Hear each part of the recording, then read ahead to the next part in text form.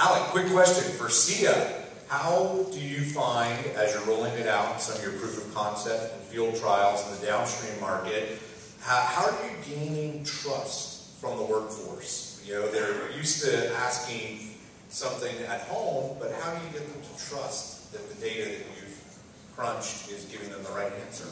Yeah, there's, there's sort of two parts to that. There's getting building trust to the point where they actually want to implement the solution within their firm. And then once they have implemented it, you know, how do we ensure, how do they ensure that they're getting accurate answers?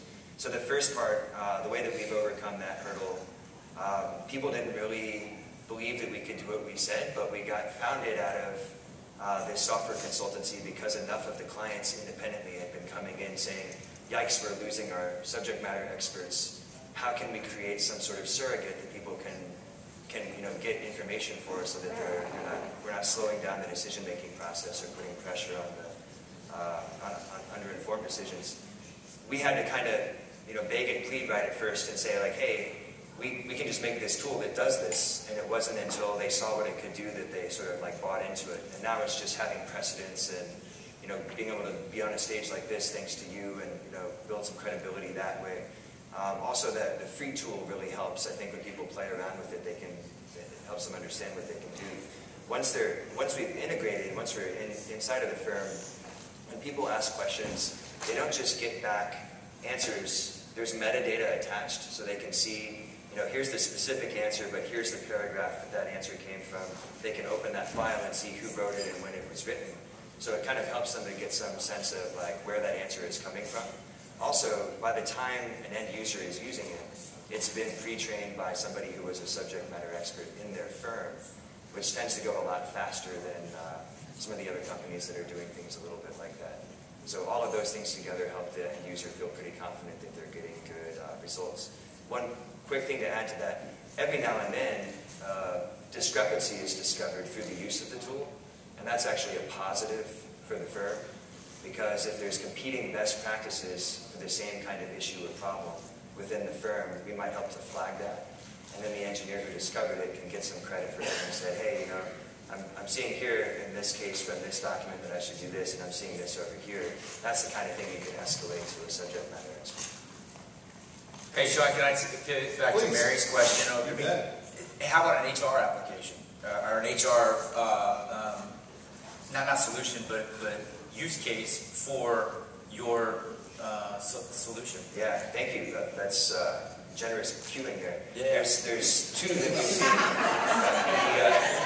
I promise we just met, but I like this guy. There's, uh, one thing that we were doing for a, a retiring subject matter expert at, at Linde, this is an HR-related thing. We're all worried about losing these people. You know, I talked about the big crew change at the beginning of my presentation there. When those people step away, people who have to fill their shoes often don't have that same expertise. So uh, if we can avoid having to hire back that subject matter expert at some multiple of their per hour salary, that's an HR related thing. And that's, that's what we're doing with this person who's retiring from Linde. We thought that there would be some resistance on behalf of the subject matter expert. Instead, they like it because they get to sort of leave behind a nice legacy um, and they care about their team and they, know, they don't want to answer questions at 2 in the morning anymore. But they also want to be able to do their high value added work without having to spend a large portion of their day answering questions from people like me. Um, so that's, that's one. The second is sort of this onboarding and training process. Uh, and so that's something that we've been doing with BASF. When people are new to a job, uh, in, in this case, they're fluidized catalytic cracking tech service engineers. So they've sold catalyst into third-party oil refineries. And those refineries expect from them very high-quality reports on how to optimize the performance of those catalysts. That's tough. Uh, and if they come up with an answer themselves, what if that answer conflicts with their predecessor's answer? We need like nice, consistent, and uh, accurate you know, results across all of the new documents that are being created and new reports that are generated. So those are two sort of HR. Excellent, thank you. Got a question here from Dimitri.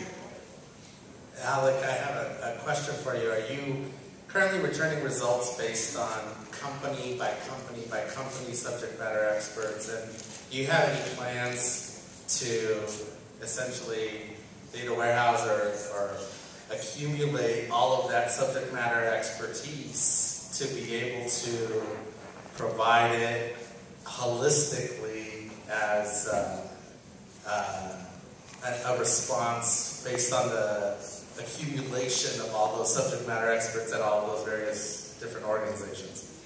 You know, when I was first thinking about this, back when I was working for an oil company, that's what I had in mind. I liked that idea that it could be some you know, giant sort of holistic knowledge base that everyone could tap.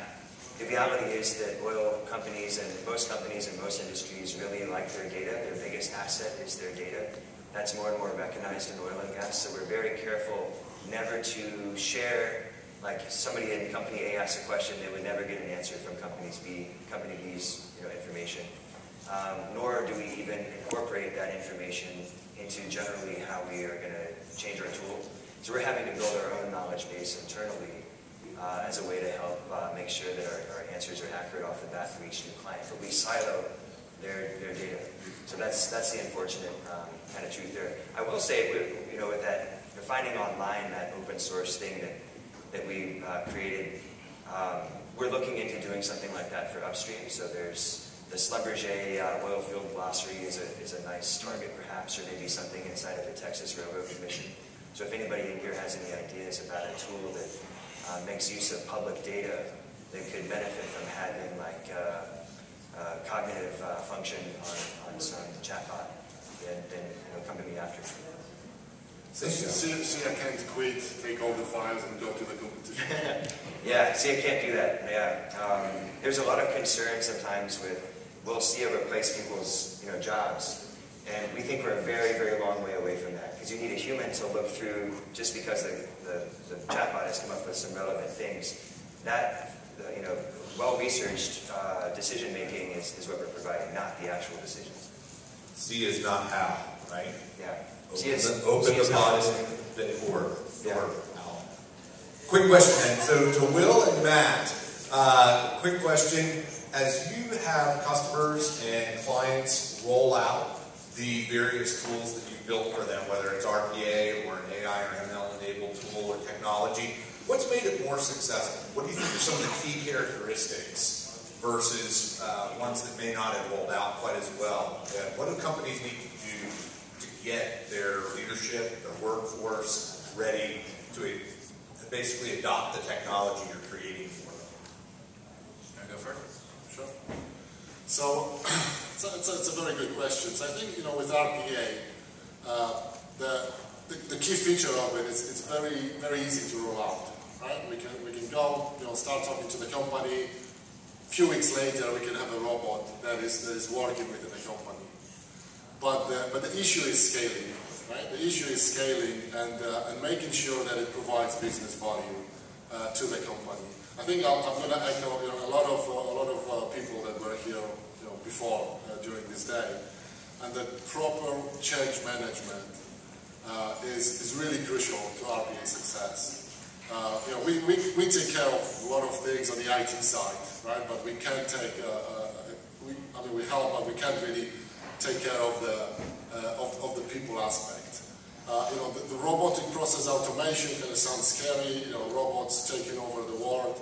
Uh, it's, it's, it's, really important that the, the, leadership, um, the top leadership and, and, and, and, the people we work with really steer it into the direction that it becomes a very useful tool for the workforce and not some sort of competition or something that they don't want to be engaged with.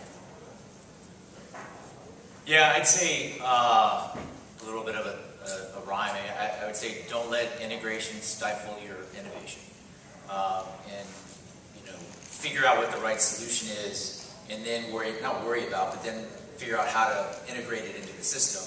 And a quick example and a, and a, a nod and I guess a humble brag. You know, there's a small Netherlands company on the downstream retail side we've been fortunate to build uh, on-demand mobile fueling for and there's two specialized trucks rolling around here in, in Houston where you will soon be able as a consumer to, on your phone, we think it actually go to a conversational intelligence type plate, where you're able to order fuel, 87, 93 or diesel, and it will come to your, to your car.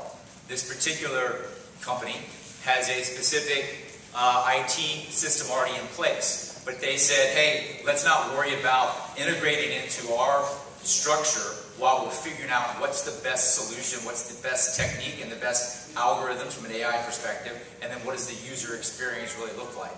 Uh, versus those that are saying, nope, this round hole or square hole has to have this type of peg in order for it to, to work. That's where we've seen the most successful solutions being rolled out uh, when we solve the problem first and then figure out how to integrate it into the larger system.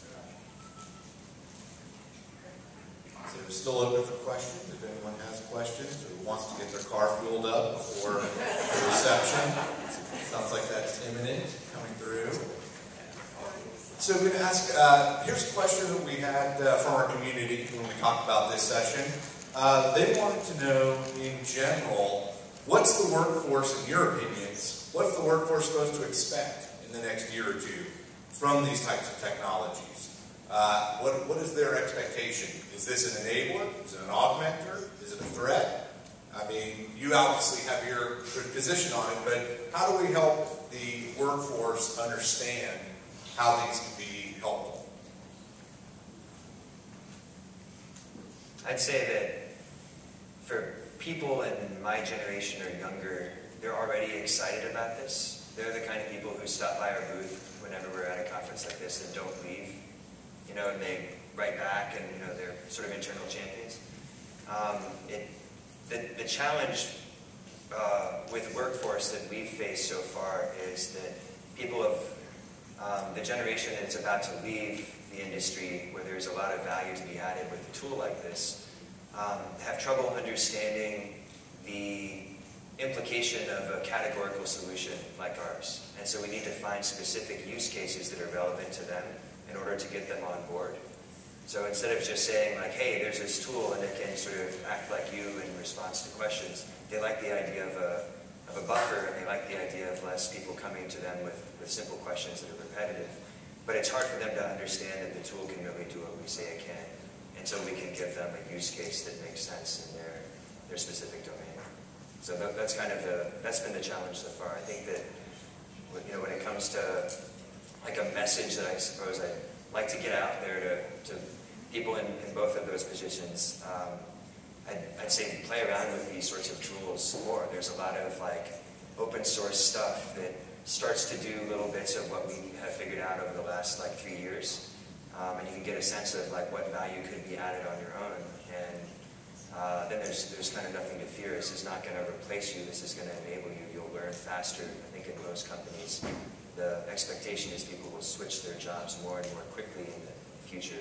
That'll continue to be true, I think, at least for the next couple of years. So how do you onboard faster in your, new role?